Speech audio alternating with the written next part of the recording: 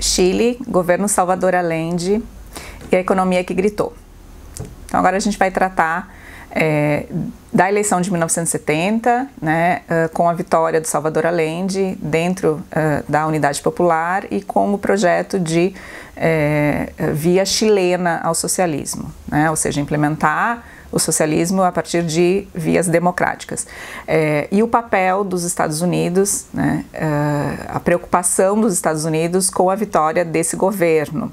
Aqui o próprio Henry Kissinger comentou que seria é, um problema os Estados Unidos agora ter que é, arcar com a vitória do Allende pela irresponsabilidade, entre aspas, irresponsabilidade de um povo. É, os Estados Unidos tinham duas preocupações ali. Primeiro, uma questão material, uh, o cobre.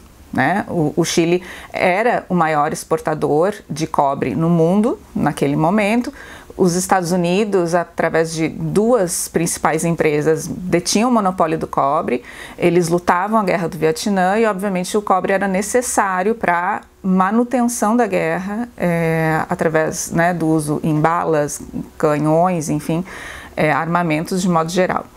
É, e a segunda preocupação dos Estados Unidos era uh, simbólica. O que, que significava a eleição de um governo é, socialista, né, marcadamente socialista, por vias democráticas, e o exemplo que isso ia dar para outros países da região. Assim, uh, a gente tem uma é, primeira reunião uh, em 15 de setembro de 1970, onde uh, o o Nixon, então presidente dos Estados Unidos, eh, e o diretor da CIA, o Richard Helms, eles vão tratar sobre a eleição do Allende.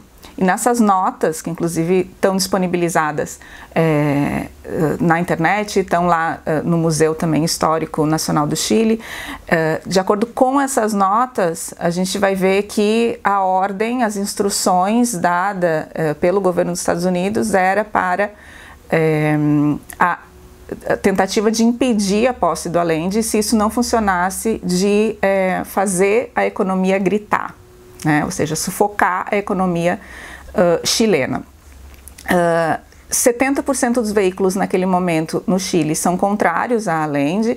É, um dos maiores, mais importantes veículos é o El Mercúrio, que uh, recebia então recursos dos Estados Unidos e bombardeava é, é, propaganda negativa né, contra o governo, a gente vai ter é, fuga de capital internacional, a gente vai ter greve geral uh, dos caminhoneiros, inclusive os Estados Unidos é, enviando recurso financeiro para esses proprietários dos caminhões, né, para que eles uh, uh, fizessem a greve, se mantivessem parados sem operar. E como resultado, então, a gente vai ter de fato essa economia que, como bem quis os Estados Unidos, foi sufocada. Então, a gente vai ter desabastecimento de produtos, câmbio negro, inflação né, muito elevada e desvalorização da moeda.